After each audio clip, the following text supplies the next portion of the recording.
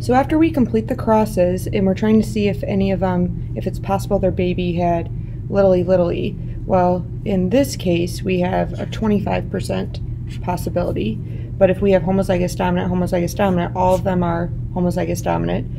If we have heterozygous and homozygous dominant, that homos that dominant allele is going to show through. So it is possible if both the parents are heterozygous. So I'm going to write no the hospital did not make a mistake by giving Mickey and Minnie a baby with small ears, littly littly, because they are both heterozygous.